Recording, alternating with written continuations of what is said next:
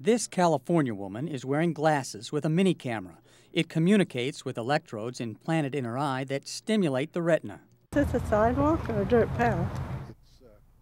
Linda Morfoot is among the first recipients of a so called bionic eye. She was totally blind for more than a decade with an inherited condition called retinitis pigmentosa. I can shoot baskets with my grandson, and I can see my granddaughter dancing across the stage. So I can see things, you know. Arms. Linda's bionic a eye has 16 electrodes.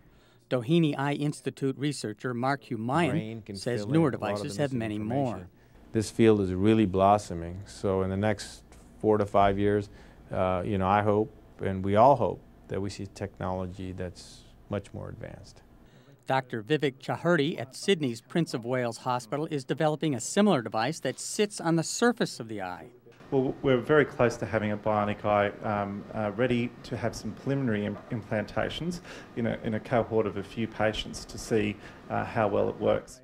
Colleague Minas Coroneo says the technology is similar to that used in cochlear implants developed for the hard of hearing years ago.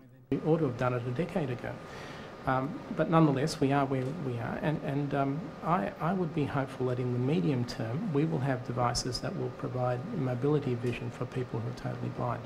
The researchers say the devices may never be able to restore 20/20 vision to the blind, but those with the artificial eyes and their clinicians say bionic technology is already restoring mobility, improving vision, and brightening the lives of some who once were.